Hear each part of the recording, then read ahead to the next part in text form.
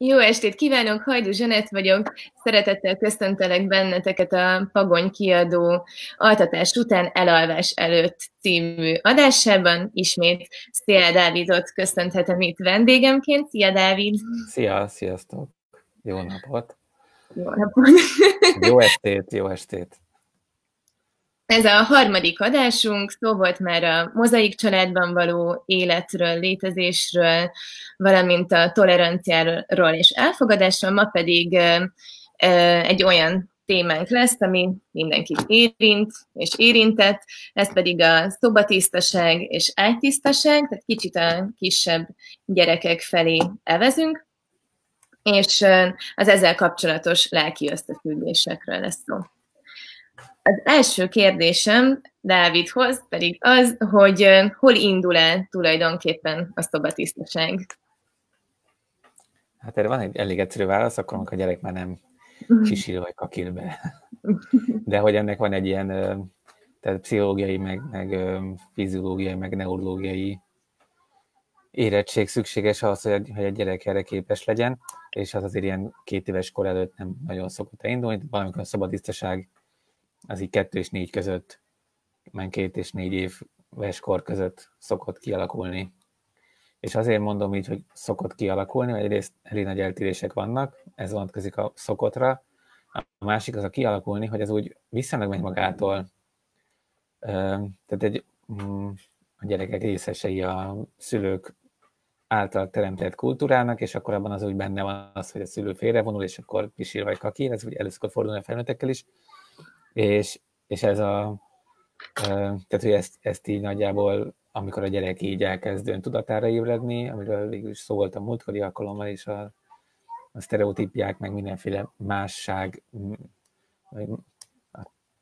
annak a megtapasztalás kapcsán, hogy a, hogy a szülő meg a gyerek az két külön entitás, hogy, hogy ezzel nagyjából párhuzamosan, de nincs köztük okozat, okozati összefüggés, elindul az is, hogy, hogy elkezdi nem tudom, hogy a szülői mintát követni, és tehát ez viszonylag, most kicsit elcsúsztam attól, amit mondani akartam volna, szóval ez viszonylag magától megy egy egészséges gyerek esetében, akinek nincsen semmilyen organikus problémája visszatartással, akár pisés, akár kakilás visszatartásával, és aki pszichésen rendben van, viszonylag, annál ez magától menni fog. Ez a dolog, tehát nem kell különösen trenírozni egy gyereket erre, vagy nem kell erre, erről túl sokat beszélni, mint ahogy a járni se tanítunk egy gyereket, de megteremtjük a lehetőséget arra, hogy járjon, ugyanúgy szabadtisztaságra se kell trenírozni egy gyereket, meg nagyon edzeni rá egy gyereket, de meg kell teremteni a lehetőséget annak, hogy az elő tudjon fordulni, hogy ő már ne kakiljon a pelenkájába, hanem billibe, vagy WC-be, vagy WC szűkítős WC-be csinálja mindezt. Uh-huh. Tehát, ha jól értenek, akkor hogyha a szülő nem, nem feszül be, és nem, nem hoz a nagyon szoros összefüggésbe az intimitással, és maga is természetesen intézi az ilyen dolgait, akkor, akkor a gyerekben is ez egy teljesen természet. De mi, mi van akkor, mert nálam mindig az volt, hogy az én kislányom, ő mindig jönni akart velem pisilni, tehát rettenetesen érdekelte. És akkor hol az a hat, mi gyakorlatilag milyen matricaként voltunk. de, de néha azért úgy elgondolkoztam, hogy biztos, hogy jó, ez... hogyha ő folyamatosan ott van mellettem. Szerintem ez habitus kérdése, hogy, hogy ki hol húzza meg az intimitás határát, hogy nyilván van egy pont, ahol azt gondolom, hogy az viszonylag már objektív, tehát mondjuk szex közben a gyereknek mondjuk nincs nagyon ott a helye, nem nagyon, tehát egyáltalán nincs ott a helye, hogy egyébként egy szobatisztaság körül gyerek előtt a szülő mesztelenkedik-e vagy sem, vagy pisiléshez bemelte vagy sem, vagy kakiláshoz bemelte vagy sem, ez, ez azt gondolom, hogy teljesen egyéni temperamentum, habitus, kedv, és még egyéb, nem tudom, a, ha olvasni akar a wc inkább, és nem a gyerekével, ez nagyon sok összetevés, de azt gondolom, hogy egy kis csoportos óvodáskorig szerintem az égvilágban nincs azzal, hogy egy gyerek ott van, miközben az apukája vagy anyukája wc van. De mondom, ezt nem instrukcióban adom, hogy ott kell vele lenni, de hogyha ezt a gyerek nagyon igényli, akkor lehet beszélni vele, hogy miért fontos neki ez, és ha engem meg nagyon feszít, akkor meg lehet elgondol, el lehet azon gondolkodni, hogy miért feszít engem nagyon. Uh-huh. Itt két, két nagyon fontos kifejezést szeretnék használni. Az egyik az pszichológiai szakkifejezés, a másik nem. A pszichológiai szakkifejezés az úgy hangzik, hogy legközelebbi fejlődési zóna, azt hiszem ez a megfelelő kifejezés, de most nem vagyok most elbizonyítalatom, hogy kimondtam, de valami ilyesmi. És szóval az a lényeg, hogy szerintem, tehát egy szülőnek, egy felelős vagy tudatos szülő azt azért úgy nagyjából tudnia kell, jó, ha nagyjából tudja, hogy nagyjából milyen stációk, milyen állomásai vannak egy gyerek fejlődésének. Mi mikor várható? Mikor várható, hogy megtanul felülni egy gyerek? Mikor várható, hogy megtanulja átaludni az éjszakát? Mikor várható, hogy ő már be tudja kötni a cipőfűzőjét? Vagy hogy meg tudja különböztetni a mosogatógépet a mosógéptől név alapján. Szóval, és, szóval, hogy nem kell őket nagyon nyomni ezekbe az irányokba, de tudni kéne, hogy ez majd úgy következni fog, vagy ennek lassan következnie kéne. Azért, hogy mindig, mindig tudjuk a következő lépés, és afelé valahogy így hát kísérjük, vagy terelgessük. De nem kell megfogni a kezét és kivinni a WC-re, de hogy, amit az előbb is mondtam, hogy nem baj, ha tudja, hogy hol a lakáson a WC. És a másik kifejezés, ugye ez volt a pszichológiai kifejezés, a másik kifejezés, ami nem pszichológiai kifejezés, az a tempo giusto, ami egy zenei kifejezés, és ezt akkor tehát nem akarok erről nagyon-nagyon hosszan beszélni, de csak hogy ennek a történetét, a, én tanultam fogalázni sok éven keresztül, úgyhogy viszonylag, vagy azt hittem, hogy tisztában vagyok az ilyen zenei utasításokkal, szóval én tudok kottát olvasni, vagy tudtam még régen, hat évig fogaláztam, tehát akkor azért az úgy valamit elvileg ad én zenei műveltséget, de a tempo giusto mindig azt hittem, hogy az azt jelenti, hogy valamit gyorsan csinálni. És akkor ezt így be is épült az életem, vagy akkor így mondtam, hogy nem tudom, boltban azt hiszem, hogy tökölünk, akkor azt mondja, na, tempo giusto, és akkor azt akart jelenteni, hogy gyorsan, hogy csináljuk már végre. De a tempo giusto az nem ezt jelenti, hanem azt jelenti, hogy vissza az eredetihez, vagy valami ilyesmi, hogy ha az van a kottában, a legelején, ott a violinkulcs mellett, két negyed fölött, hogy andante, vagy andante, bocsánat, andante, és akkor aztán megy a kotta, és egyszer csak az hogy staccato, ami azt jelenti, hogy ilyen tak-tak-tak, Okay. És aztán utána egy után van, hogy tempo giusto, akkor az azt jelenti, hogy vissza az andantéhez. Ha ott nincsen semmi, akkor az eredeti, nem tudom, hogy éppen azt az ember akar játszani. Tehát a tempo giusto azt jelenti, hogy vissza az eredetihez. És akkor ezt így próbáltam az évek során át, ért, átkeretezni, vagy átkönyvelni a fejemben is, hogy a dolgokat nem gyorsan kell csinálni, hanem mindent a saját tempójában. És valójában az a tapasztalat, hogyha az ember tehát, hogy nincs akkora különbség a sürgetés, vagy a sürgetett tempójú gyerek, és a, a sürgetett tempójú gyerek és a, mm, és a normál tempóban hagyott gyerek fejlődése között. Viszont frusztrációban jóval nagyobb a különbség, tehát akkor az azt jelenti, hogy mind a két fél, a szülő is, meg a gyerek is rettetesen frusztrált, mert mindig azt érzi, hogy, hogy is sürgetve van. Uh-huh és azt gondolom, hogy ez kifejezetten, tehát a szabadtisztaságnak kifejezetten fontos dolog, hogy ne legyen sürgetve, és akkor itt, itt muszáj elővenni, most nem tudom, mennyit kell nekem beszélni erről a kérdésről, vagy mennyit kell erre a kérdésre válaszolnom, amit feltettél, most nagyon hosszan beszélek. Szóval, hogy elő, hogy elő kell venni a Freudnak a pszichoszexuális szakaszait, amiből öt van neki, és most akkor elengedhetjük, hogy a Freud az nem volt túl nőpárti, meg elengedhetjük azt is, hogy hogy nagyon determinisztikus volt az, ahogyan ő gondolkodott, meg túl korán azt gondolta, hogy véget ér az ember fejlődése, hogy nagyjából a kamaszkor közepe eleje az, amikor úgy minden már elkönyvelődött, meg azt is engedjük most ebből a szempontból, hogy nagyon szex meg szexualitás központú volt, főleg az elején, az, ahogyan ő gondolkodott arról, hogy hogyan érik, hogyan fejlődik egy gyerek. De mondjuk az anális szakasz, aminál a második szakasz, az orális szakasz követi az anális szakasz.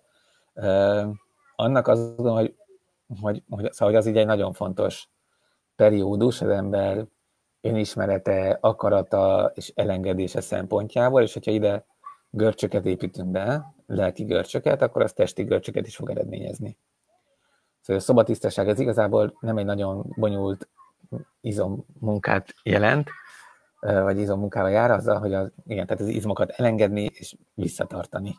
Mégpedig jókor kell elengedni, nagyjából akkor, amikor a wc az ember is már letolta a gatyáját, és addig meg, ha már addig meg úgy kell tartani, ha kell. Tehát erről szól az egész, fiziológiailag.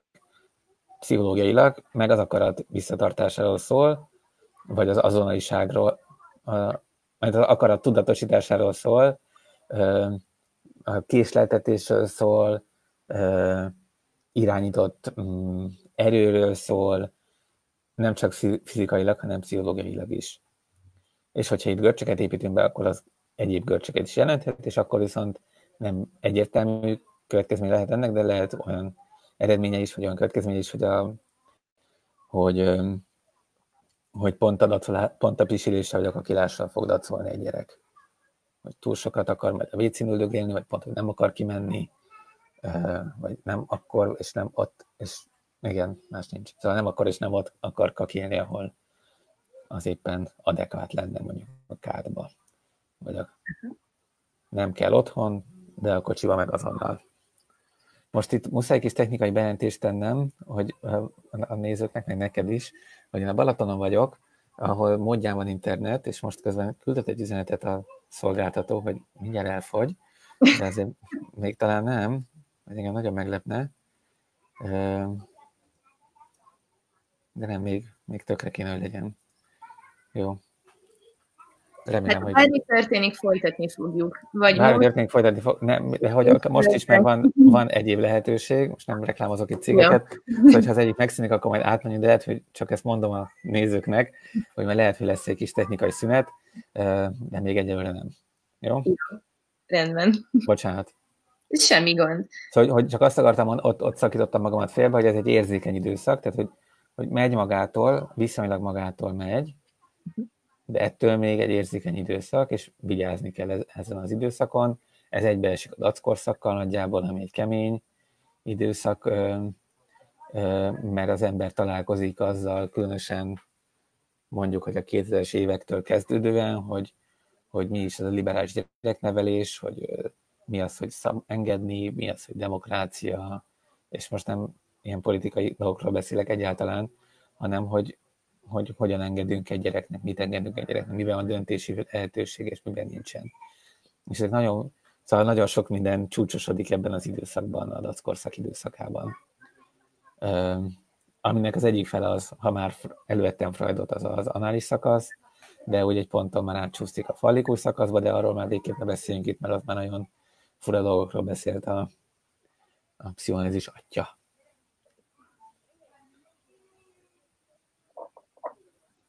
Jó. Most csak mindent mondtál, de követem. Ö, ami, amit szoktak csinálni, mert ugye itt könyveket is kéne kapcsolni valamilyen módon. Ö, hoztunk nektek, Dáviddel válogatva. Most megint amúgy négy pagonyos lett, pedig pedig az volt a cél, hogy sokféle könyvet bemutatunk, és beszélgettünk a Petéde és Pizzuriról is, úgyhogy a végén majd arra kicsit kitérhetünk. Oké. Okay. Hát az, az, az engem nagyon érdekel, hogy mit gondolsz róla. Billire szoktatás ami most így nyáron elég aktuális, mert meleg van, és ilyenkor tényleg praktikus, meg szeredélhetnek a gyerekek pucéren, és nincs ilyen nagy hercehurcan, és nekik sem kellemetlen, meg a szülőnek, kellene, a szülőknek sem annyira kellemetlen, tehát lehet, hogy így könnyebben lehet venni a dolgokat. Arra van egy Billy könyvünk lányoknak, meg fiúknak, és pontról pontra összehasonlítottam. Tulajdonképpen tényleg csak annyi a különbség a kettő között, amikor a gyerekek megismerik a testüket. Látszik ez? Uh-huh, én látom. Igen. Igen, ő egy Sári. Nem túl szép dolog, de itt pucéra mutogatom. és Samu. Ezen felül pedig tulajdonképpen minden mondata ugyanaz. Tehát csak annyi, hogy Samu a fütyével, Pisi és Sári meg a punciával ez a, ez a különbség. Amúgy te látsz valami különbséget ebben a, a, a, a nemi kategóriák között a bilíreszt oktatásban, meg a szobatisztaságban? Hát azt hiszem nem. Uh-huh. Ilyenek vannak, hogy a fiúk gyakrabban vagy tovább is jönnek be. mm, mármint, hogy nem ugye a szabadisztaság keretein belül, hanem úgy egyébként is, tehát még vannak, ez így a forduló fiúknál. Egyébként azt gondolom, hogy a szabadisztaságra, igen, ugye bajba vagyok ezzel a kifejezése, hogy nevelés, mert nem tudom, szabadisztaságra kell egy gyereket nevelni, ott kell lenni, amikor szabadiszta, mert neki az egy élmény és egy fontos eredmény lesz, hogy ő már a WC-be kakilt, vagy a billébe kakilt, és akkor meg lehet nézni együtt, hogy az milyen. Ez ugye ott benne is van a Billy könyvben, hogy sült, és ült, és ült, és ült, és ült, és ült, és ült, és akkor egyszer csak megtörtént a... Csoda. Az, hát igen, de hogy ne hívjuk csodának, mert ez nem csoda, hanem ez egy tök természetes dolog, de hogy végre, megtörtént, ami nagyon várt, és akkor lehet erre büszkének lenni, és lehet erre büszkének lenni. Én nem gondolom, hogy itt a, hogy akkor a szabadtisztaság során való jelenlétben lenne, vagy kéne bármilyen különbséget tenni a két uh-huh. nem között. Az is van talán, hogyha egy, egy pelenkába egy fiú könnyebben pisil mellé, mert hogy még van egy fütyi is, és nem. Viszont közben meg a Balatonparton könnyebben pisil fára. Igen, igen. Uh, meg igen, szóval ilyen, ilyen higiéniai okokból biztos, hogy van különbség, uh-huh. hogyan kell megtörölni egy fütyit, meg egy puncit, vagy egy fütyit nem is kell igazából, csak úgy lecsöpögtetni, meg nem tudom, az ilyen mesztelen üldögélés homokban, az, az azért nem annyira egyértelmű lányoknál, fiúknál talán egyre könnyebben tisztogathatóak. Uh-huh. A, a, a tisztogatható nemi szerv. Szerintem itt, ami nagyon fontos, az az, hogy meg lehet nevén nevezni a dolgokat. Tehát, amit egyébként még a szakirodalom is említ, hogy, hogy baleset. Ez nem baleset. Ne hívjuk balesetnek azt, hogy valaki bepisil vagy bekakil, ne pisilőnek, meg nem. Illetve úgy nevezzük, ami aztán hosszú távon is fenntartható. Aha, igen. Ezért egy probléma, ugye majd beszéltünk a, egy következő alkalommal, ez csak egy tipp a szexuális nevelésről, ami egy elég, elég fontos téma, azt megalapozandó nem érdemes a nemi szerveket infantilizálni, hanem, hanem érdemes úgy nevezni, ami aztán úgy fenntartható, akár nem kamasz, akár kamaszkorban is, de már előtte is lehet, hogy kínos, hogyha valaki nunnak hívja a punciát, vagy szóval, hogy, hogy azt, azt látni, egyébként a Sex Education című amerikai is, angol? Angol. Hát Angliában játszódik. Igen. De szerintem amerikai. Lehet. Na, szóval sorozat, angol száz sorozat, hogy ott, ott nem vacakolnak, tehát ott, ott mindent a nevén neveznek, és ezt nagyon-nagyon jó hallani benne, hogyan, hogy nem, nem vulgárisak, meg nem orvosiak, és nem is infantilisek, hanem, hanem teljesen természetesen. természetesen beszélnek arról, hogy a nőknek vaginája van, a férfiak, a fiúknak meg péniszük. És akkor nem kell pironkodni, hogy ezt kimondják. Magyarországon kell pironkodni ezekkel kapcsolatban.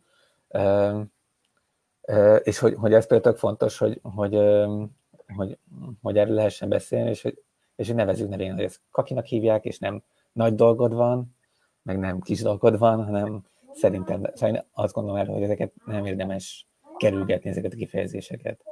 Uh-huh. Ez a, ez a prüdíria körül teljes mértékben fölösleges. És indokolatlan. Most hát is szúnyogok is vannak ezen a... Dance.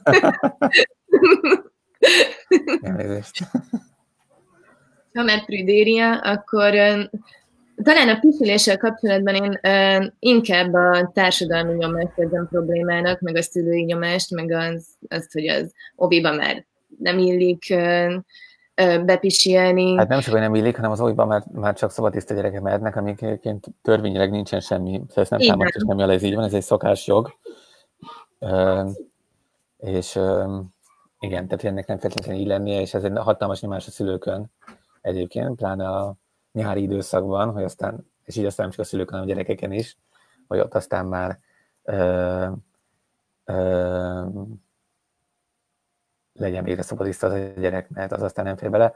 Holott egyébként lehet, már rég nappal szabadiszta, mm, de éjszaka még nem. Uh-huh. És akkor van egy lepedő még a lepedő alatt, szóval ez bőven belefér.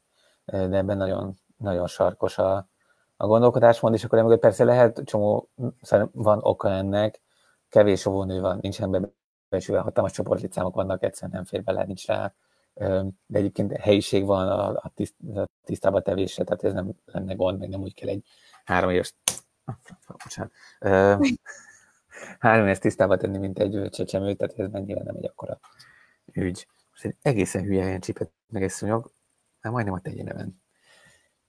Az óvodának azért feladata, hogy a test és lelki szükségleteit, amíg ott van a gyerek, addig ellessenek a kisgyereknek. Igen, de én most nem szeretnék ilyenbe belemenni egyáltalán, hogy, a, hogy az óvodák itt hibáznak, vagy sem, mert tényleg azon, hogy annyira ö, ö, hát így fogalmazok most, hogy legtöbbször szomorú körülmények között kell dolgozni, dolgozni az óvónőknek nagyon-nagyon minimális megbecsültségért, holott egyébként elképesztő munkát végeznek, elképesztő ö, szakmai elvárások mentén dolgoznak ők, és mégiscsak a, rájuk bízzák az emberek a gyerekeiket, ami, tehát hogy, hogy ugye, ami egyébként elég nagy hangsúly van, tehát hogy az, hogy így azok a gyerekek, akik aztán a társadalmat alkotják, azokból olyan felnőttek legyenek, akik utána alkalmasak arra, hogy a társadalom egészséges tagjai legyenek, ennek azért ebben azért elég nagy szerepe van egy óvodának például, ami ugye kötelező is. Ö, igen. Kaptunk egy kérdést, aztán innen folytatjuk. Mert azt kérdezi, hogy szükségesnek vagy hasznosnak tartod-e a tematikus könyveket a témában? Uh-huh. Ez tök jó kérdés. Én azt tudom erre mondani, hogy, hogy, hogy családja válogatja. Én, én a Billy könyvet például szerettem, mert tetszett az az, és ült, és ült, és ült, és ült, és ült, és az jó volt mondani. De, de nem gondolom, hogy ettől tanul meg valaki a Billybe pisilni, meg kakilni. Azt, azt gondolom, hogy a, hogy, hogy inkább itt ez a, a kapcsolódásról szó lesz, hogy akkor ezekről utána lehet, ez mindig, hogy sose magukban állnak ezek a könyvek, hogy ezek tényleg kisgyerekeknek szólnak, ezeket fel kell olvasni, ezt nem magától olvas el a két éves, vagy három éves, lehet ezekről utána beszélgetni.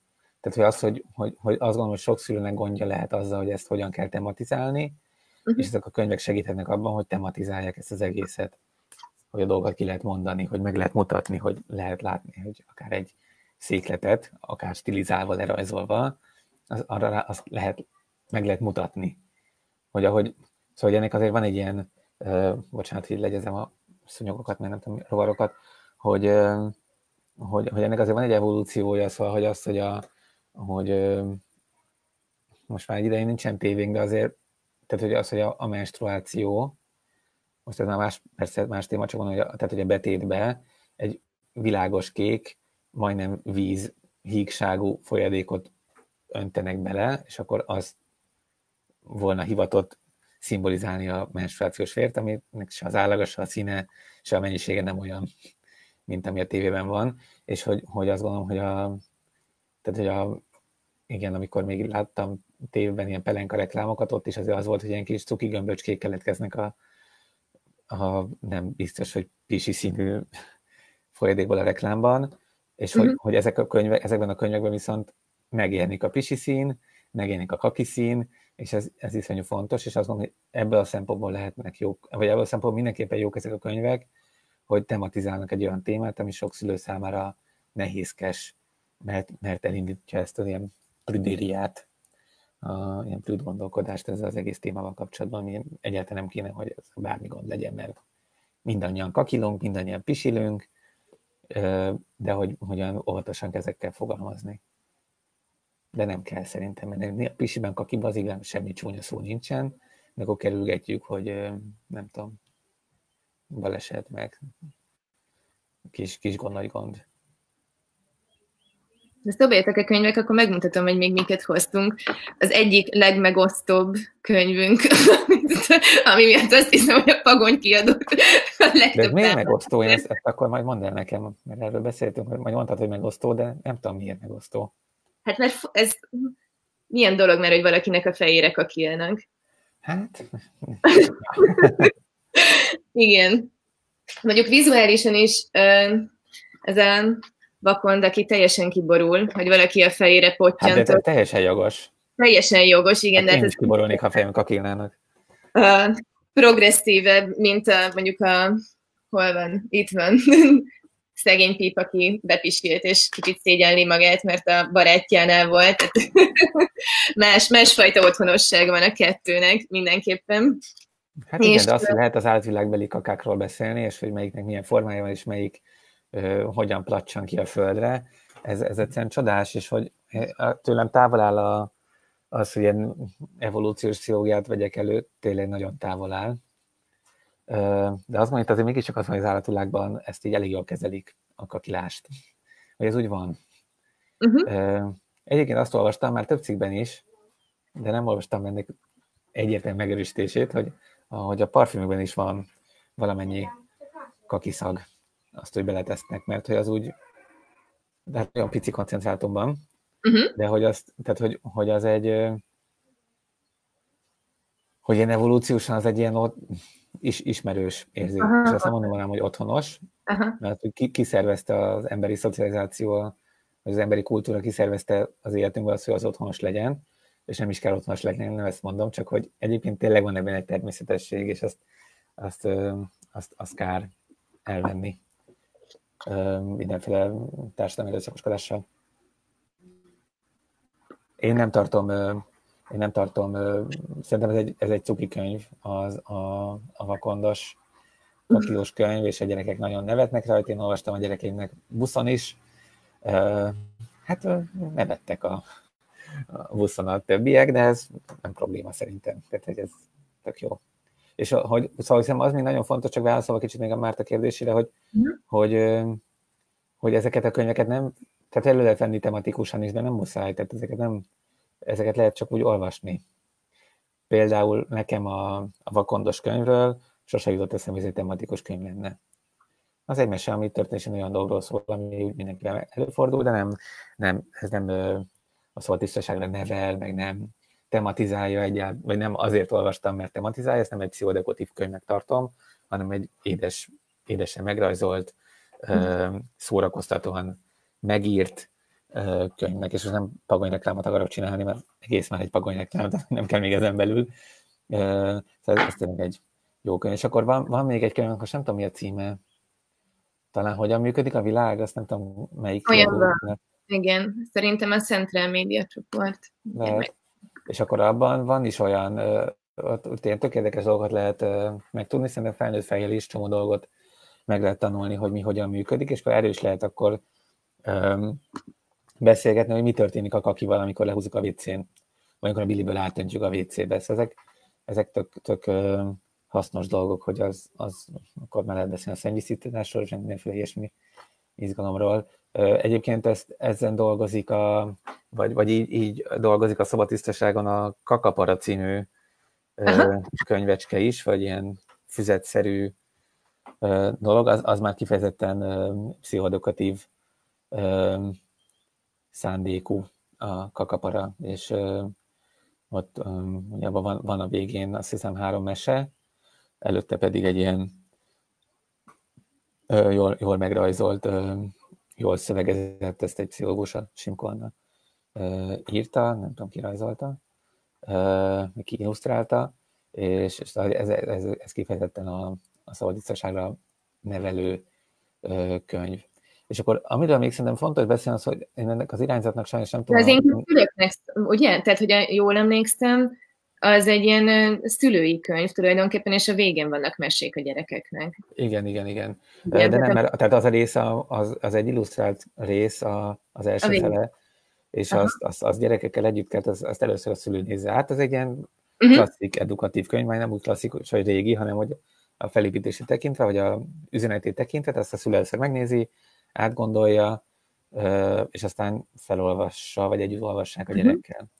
Amiről még szerintem fontos beszélni, aztán közben látok még itt egy kérdés, és ez iszonyú érzés, hogy, hogy jönnek kérdések, mert ugye én nem látom, hogy ezt hányan nézik, vagy hányan néznek minket. Szóval, hogy, hogy vannak ilyen irányzatok még, amik már ilyen különböző jelekkel, meg, meg ilyen nonverbális kommunikációval, már a, a beszéd kialakulás előtt el tudják érni, hogy a gyerek szabadisztává váljon. Én nem tudom ennek a nevét, hogy ez mi, csak tudok róla, hogy ez így van. Itt visszautalnék arra, hogy hogy azért itt egy akaratlagos visszatartási sűrítés az, az amit a szabadtisztaság jelent, mihez szükséges egy neurológiai, meg egy pszichológiai, meg egy fiziológiai érettség. Uh-huh. Tehát lelkileg is, meg testileg is készken kell lenni erre az egészre, ami egyszerűen nem jön el sokkal korábban, mint a már említett kettő és négy éves kor közötti dolog. Tehát meg lehet tanítani sok minden gyereket, korábban is akár, tehát ilyen klasszikus kondicionálás ez igazából. Ö, ö, tehát kondicionálás sok mindenre lehet egy gyereket, de ez még nem ugyanaz lesz, mint ami a valódi, ö, úgy mondanám, tehát ilyen pszichológiai értelemben szabadtisztaság. Gyorsan kiegészítem, hogy a, a, a kakaparát ezt a Móra adta ki, Uh-huh.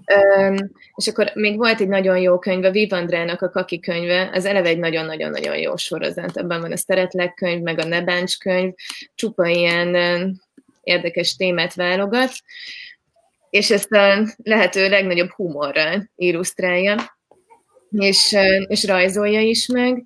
A, a Hogyan működik a világ, azt pedig Szkolár, úgyhogy rosszul emlékeztem. Szkolár. Uh-huh. Igen. Orsolya azt kérdezi, hogy mennyire elfogadható egy szinte hat éves kisfiúnál, hogy még nem ágytiszta. Mikor illik ennek kialakulni, a szorongó típus itthon és az oviban is előfordul. Köszönöm a választ. Um, hát itt, itt megint több, szóval, hogy mondjam, szóval itt, itt nagyon, ez nagyon um, családfüggő, vagy habitus függő. Um, azért itt a kérdésben benne van a válasz, szerintem. Tehát egy szorongó kisfiúról van szó. A szorongás, tehát nem, azt gondolom, hogy nem a szobatisztaság, vagy nem az ágytisztaság az, amivel foglalkozni kell, hanem a szorongással, de ami és a szorongással majd lehet mit kezdeni, és annak aztán lehet következni azt, hogy elmúlik az ágyba pisilés is, vagy ilyen szebben fogalmazva ágyba vizelés, csak tőlem már ez távol áll, hogy így beszéljek. Szóval kicsi még. Amit itt szeretnék mondani, és ez nem egyáltalán szeretnék ellenszenvesnek tűnni, csak hogy, hogy iszonyú össze, sok összetevője lehet annak, hogy valaki miért pisil be. Ö, és hogy, hogy ö, azt tudom mondani, hogy lelkileg és testileg egy gyerek készen van arra, hogy ne pisilje már be úgy nagyjából két és négy éves kor között. Ha olykor, olykor előfordul, mert nehezet evett, vagy túl sokat ivott még, vagy rosszat álmodik, az az égvilágon semmi gond nincsen. Ha rendszeresen bepisil még egy gyerek, ennyi idős korban, akkor lehet, hogy valami másfajta támogatásra van szüksége. Nem gondolom, hogy ebből pszichológushoz kell szaladni egyáltalán. Még a szorongással se kell egyből olyval szaladni, de át, átgondolni az otthoni, ezt most ilyen nagyon tágan akarom mondani, ez nem a az Orsajának válasz egyértelmű, de remélem, hogy ő is tud majd ebből profitálni. Pont azért nem lesz neki közvetlen a válasz, mert nem ismerem a, az egyéni történetet, vagy a konkrét történetet. De hogy, hogy ami biztosan segíthet, a, tehát hogy valahogy a, a, a máshogy kapcsolódás fontos, lehet ilyen esetben, és azon érdemes gondolkodni, milyen szabályok vannak otthon. Mi az, amit lehet, és mi az, amit nem lehet. Mi a napi, napi rend, mikor iszik még a gyerekünk utoljára folyadékot. Mikor milyen pisilési kultúrája vagy szokásai vannak, hogy lefekvés kimegy magától, vagy kicsit elősz, előszakosabban kell ebben lenni, de elítszi, menj ki, mert ez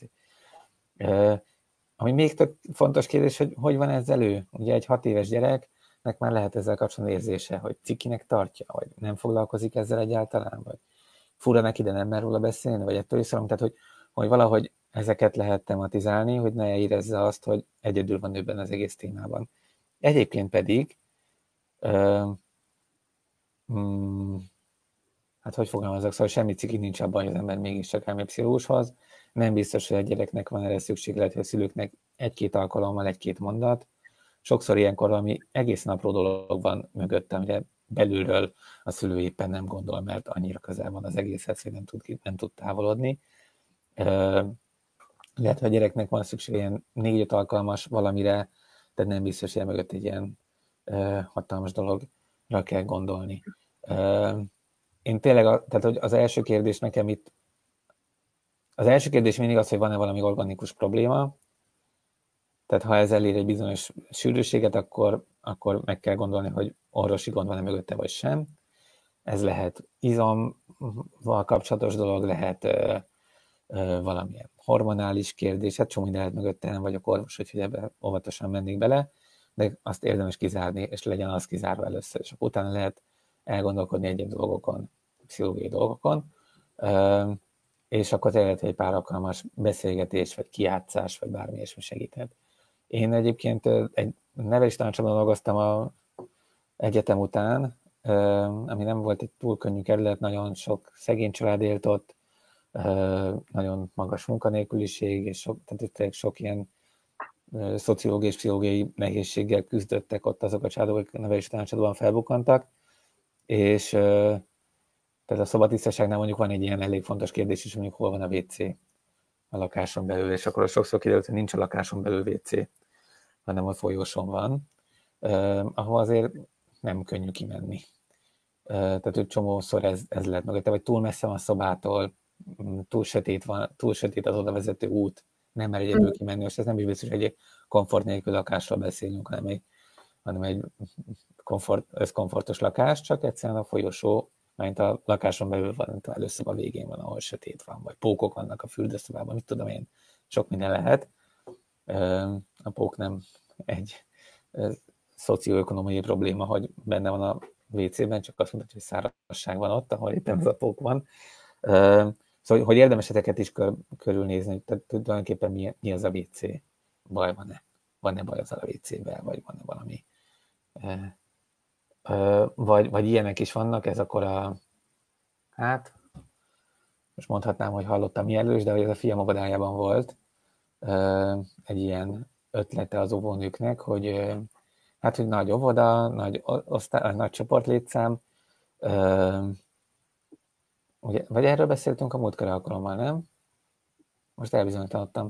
Szóval nagy csoportlétszám volt, és akkor ott az, az volt a mondás, hogy ha már egyszer vége van a mesének, a délutáni alvás előtti mesének, akkor már csak egy-egy gyerek mehet ki az óvodába. Uh, bocsánat, a WC-re. Ezt nem meséltem múltkor? Nem, ezt nem. Ja, akkor nem tudom, hol meséltem, akkor most itt mesélem. Uh-huh. Hogy csak egy-egy gyerek mehet ki az óvodába. Uh, bocsánat, még egyszer ugyanúgy fogalmazok. Szóval hogy egy-egy gyerek mehet, egyszer egy gyerek mehet ki WC-re, és aki már volt kint WC-n, az többször nem mehet ki. És egyébként letettek egy kis papucsot, hogy a WC-be csak abban a papucsban lehet kimenni. Hm. És akkor, akkor ott azt hiszem, hogy a csoportban több gyereknél is megjelent az, hogy elkezdtek be pisilni, mert féltek szólni, hogy neki pisilni kell. És akkor, tehát hogy ez is állhat, tehát hogy, hogy egy-egy rosszul elsült mondat, igazából a szabadisztásság kapcsán elsőt mondatok, azok körülbelül úgy hatnak, mint a szülőszobán elhangzó mondatok. Az egy, tehát ez egy érzelmileg és nem, érzelmileg kitett állapot, a szülés is érzelmileg, és ott még fizikailag is kitett állapot, ahol minden mondat sokkal erőszak, erőteljesebben hat. Egy-egy ilyen mondat, a rosszul elsőt mondat, már voltál képviselni, miért kell megint, akár csak ennyi, és elsülhet rosszul nem feltétlenül kell rosszul esőn, de elsőt rosszul. És akkor mondjuk erről lebeszéltük az óvónőket erről a gyakorlatról, hogy csak abban az egy papucsban lehessen kimenni, és egyszer csak egy gyerek, szóval ez, ez nonsens, tehát egy gyereknek pisilnek, akkor menjen ki. Ez ilyen egyszerű. És egyébként az iskolákat is szívesen lebeszélni erről a gyakorlatról, hogy csak szünetben lehessen kimenni pisilni, mert egy elsős gyerek az nem biztos, hogy ott tart, hogy abban az 10 percben, ami szünet van, és abban enni kell, összepakolni a következő, előző órát összepakolni a következő órára, ott még jusson idő arra is, hogy kimenjen WC-re. Tehát, hogy, hogy, hogy ez menjen ki, amikor kell neki. És egyébként meg, tehát ez egy ilyen magánügy, és nem is kell kérdezni, és ez, ez egyébként nagyon beleégett az emberekbe, én tanítok egyetemen, és még ott is engedélyt kérnek tőlem, hogy kimesnek WC-re. Tehát felnőtt emberek és most már az óra elején, az első órán mindig elmondom, hogy ne kérjenek engedélyt, nem, lehetőleg ne abban a pillanatban menjenek ki, amikor éppen valami megosztós feladat van, de hogy egyébként hogy menjenek ki vécére, hogyha kell nekik, szóval ebben engem hagyjanak ki, hogy nekem engedélyt kell adnom, és gondolom, hogy ez, ez, ez, ez, ez óvodában, hát szólni kell persze óvodában még, mert nem lehet ott elcsatangolni, de hogy nem kell ezt az egészet se túl misztifikálni, se ilyen ijesztőnek beállítani. Azt mondtad, hogy ö, ö, amúgy a, a pisilés főleg a bepisilés, ez összefügg az akarattal. És hát a, a uh-huh. és a kakilás is, igen. Uh-huh. Ö, azt szokták mondani, vagy nem tudom, én több helyen azt olvastam, hogy a, a, a túl szigorú vagy túl szoros szabályozás, vagy a túl laza szokott lelki problémákat okozni. Tehát, hogy egy-egy első, egy-egy rosszul első mondat, vagy az organikus okokon túl egy rosszul meghúzott szabálykeret csinálja még tulajdonképpen ezt a dolgot, és akkor van egy hosszabb terápiás lehetőség? Hát persze, hát szóval, hogy, tehát, hogy ez egy, ugye ezért is mondtam azt, hogy mi az, hogy demokrácia, mi az, hogy liberális gyereknevelés, pár uh-huh. mondattal korábban, hogy, hogy, hogy hát ezt én nagyon egyszerűen tudom csak megfogalmazni, hogy, hogy szabályok nélkül nincs értelme a szabadságnak, és szabadság nélkül nincs értelme a szabályoknak. Tehát kellenek a keretek, és keretek között pedig viszonylag tágan lehet mindent csinálni hogy ezeket, de hogy egyik se, tehát hogy mindegyikből optimális mennyiségben van szükség egy gyereknek, kellenek a keretek, és kell a szabadság is, és kell az el, akkor persze nem beszéltünk a szeretetű megállapodásról, ami mindezeken felüli és túli, de talán ez a három, ami így iszonyú fontos dolog ebben az egészben. Tehát azokat a határokat, és azokat a szabályokat, és azokat a szabadságokat, azokat szeretetteljes keretek között kell biztosítani egy gyerek számára. Úgy, hogy közben tudjuk, hogy mi a következő fejlődési állomás. Nyilván, ha a gyereknek túl sok szabály van, meg minden tiltva van, és mindent csak egyféle módon lehet csinálni, és nem tudom, ha így nem nyúlhat a fütyéhez, egy punciához egy pelenkából kibújtatott testű gyerek, már pedig azért itt az van, hogy aki egész nap benne van a pelenkájában, és uh, akkor annak bizony újdonság lesz, hogyha ott előkerül az, amit egész nap nem látott. Uh, uh, mert azt nem szabad, mert nem nyúlunk, akkor az azzal végzett műveletek is lehetnek problematikusak. Uh-huh. Uh, és hogy a, a másik, hogy, hogy, hogy így ilyen teljes lazaság ebben az egészben, az megint csak uh, ilyen biztonságérzet tehát az kevéssé a biztonságérzetet, hogyha mindent lehet. Amit még mondani akartam, és ez tök fontos szerintem, hogy, hogy amiért még, szóval hogy van egy ilyen kitolódása a szabadisztaságnak, és ennek szerintem nagyon egyszerű oka van, az az, hogy ezek a pelenkák kényelmesek. Uh-huh. Ezt most nem azért mondom, mert volt rajtam, hanem azért, mert hanem azért, mert ezek tényleg, tehát hogy nem pirosítja ki a feneket, beszívja a nedvességet, tehát nem nincs benne ilyen fura érzés az embernek. Az egyetlen dolog az az, hogy egy idő után már nehézkes benne mozogni, mert egy ilyen megtelik pisivel, vagy kakival a pelenkák, az már bonyolultabb, de hogy egyébként nincs gond ezzel a pelenkával. Tehát a 60 pelenkái, azok dörzsöltek, már amikor tiszták voltak, akkor is dörzsölték az emberek fenekét, tehát hogy azt az ember inkább levenné magáról, ezek, ezek, ezek kényelmesek. De most ökológiai okokból azért elég népszerű lett újra a mosható pelenka. Igen, hát az, itt azért igen, elég népszerű lett, bizonyos nagyon-nagyon szűk társadalmi csoportok ö, ö, körében lett ez elég népszerű. Ö, egyébként nem hosszú távon lehet, hogy olcsóbban is kijön egy mosható pelenka, de, de rövid távon nem, és azért át kell lépni egy ilyen be kell ruházni egy hatalmas készletre, igen. Igen, de nem csak azt, azt kell átlépni, hanem ezt a, a pszichés gátat, hogy akkor ott, ott nem betekerem a pelenkába a kakát, és kidobom a szemetesbe, hanem akkor azt onnan ki kell dobni, akkor azt be kell tenni a mosógépbe, akkor a, a saját mosógépen mosom ki a kakát, hogy az, az egy, az pont az, amit eddig ki akartunk, tehát az elmúlt Aha. 30 év azzal telt, vagy 40, hogy ezt kiszervezzük, és ezzel nem, ez nincs. Ez, tehát, hogy ez, ugye ez, ez mind része a tabusításnak. Szóval ez tök fontos látni, hogy ez, ez nem, nem önmagában van, hanem hogy, hogy ez, ez nincs. Tehát, hogy ez, és, a, és a, mi fontos még nagyon, hogy a WC, vagy a, a szemetes, amiben pelenkek ülnek, abban legyen esetleg egy Wunderbaum, vagy valami illatosító. Tehát ugye már vannak ilyen izék, hogy ne legyen büdös a lakásban. Igen. Úgyhogy, és ilyen szempontból az, hogy, ilyen, hogy a mosható pelenka, az, az az egy nagy, nagy ugrás, nagy pszichológiai ugrás. És hát az nem, nem simán kényelmesen az embernek a ölébe bele. egyébként. De a gyerekeknek másban? Tehát, hogy ott nyilván érzi, ha nedves, meg érzi, ha bekakilt, nem úgy szívja fel a nedvességet. Igen. De ugye nem, tehát ha valaki csak mosható pelenkában van, vagy ilyen uh-huh. biocucban, akkor, akkor neki nem lesz összesítás alapja, akkor ő abban úgy lesz benne, és akkor úgy lesz neki jó. Hát az nagy, tehát ez nagy, nagy darab egy ilyen mosható pelenka, ezt, ezt érdemes tudni, hogy ez nem, nem az a, abból látszik a gyerekpelenkás a, a, a sima, milyen hívják ezt? Műanyag pelenka, vagy nem tudom minek, tehát az ilyen aha, most szerintem megszakadtunk. Igen, most egy picit lefagytál, de újra látlak, csak akadozol.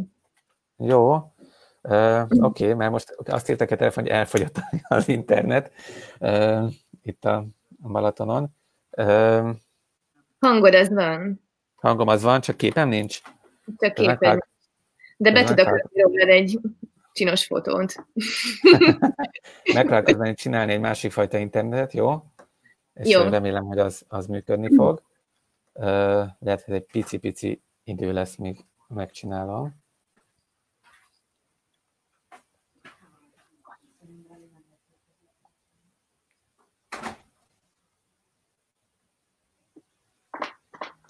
Itt vagy még? Én itt vagyok. És azt hiszem, hogy kicsit nehezen, de látok is. Az jó, de most akarok csatlakozni egy másik fajta internethez. Na, de amíg ez megy, addig közben próbálom mondani, hogy, hogy neki nem összeszorítás alapja, de hogy ez nem egy ilyen kis, nem feltétlenül lesz ilyen kis guszta formás feneke abban a gyereknek, akár fiú, akár lány, tök mindegy, mert ez egy ilyen nagyobb darab. Ezt miért mondod? Annyira menők.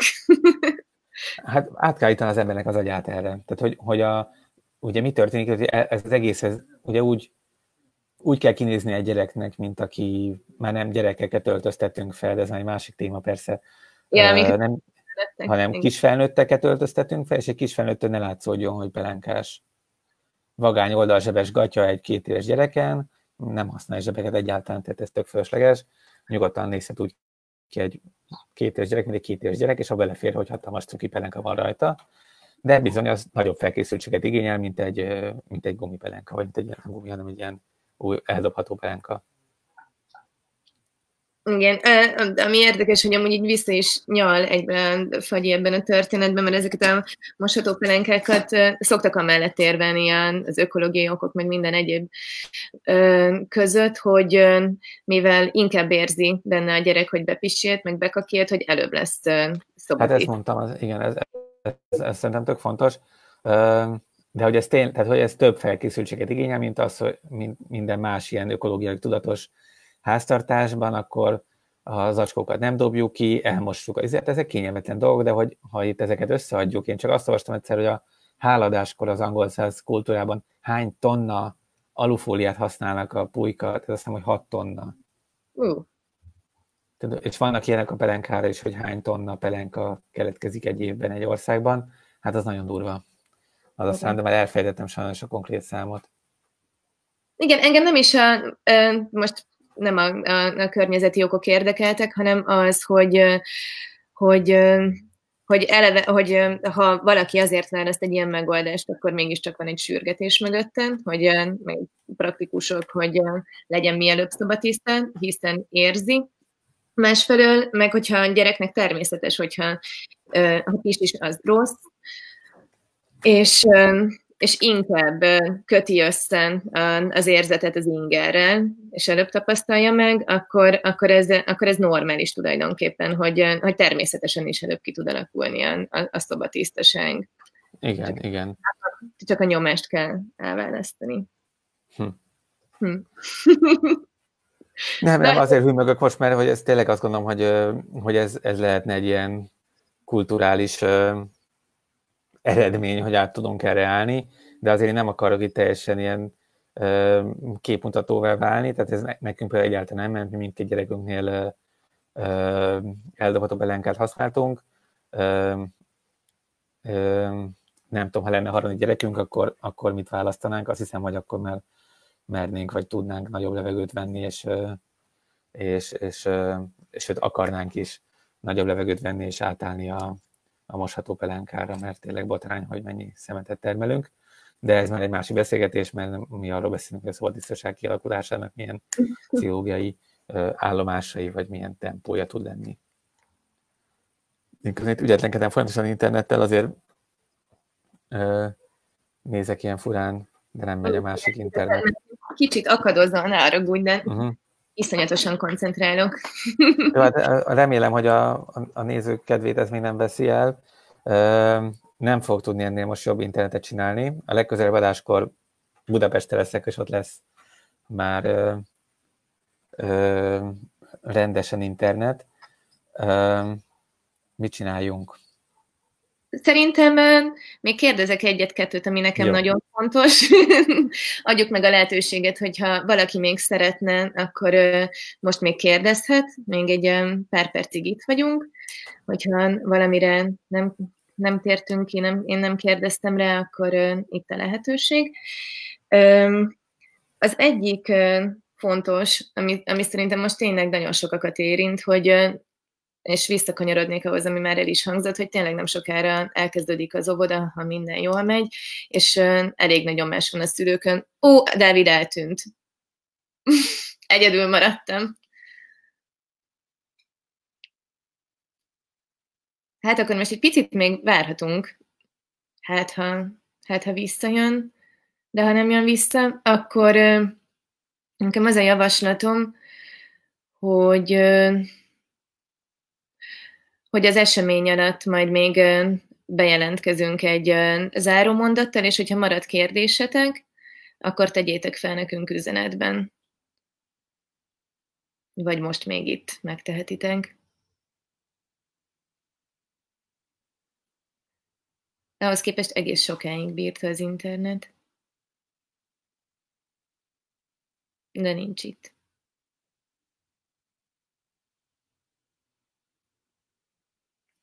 Most már egész furán érzem magam, hogy így magamba beszélek. Jó. Hát ez esetben, ha nem tudja megszerelni, akkor látom, hogy azért sokan néztetek minket, amit nagyon szépen köszönök, most Dávid nevében is.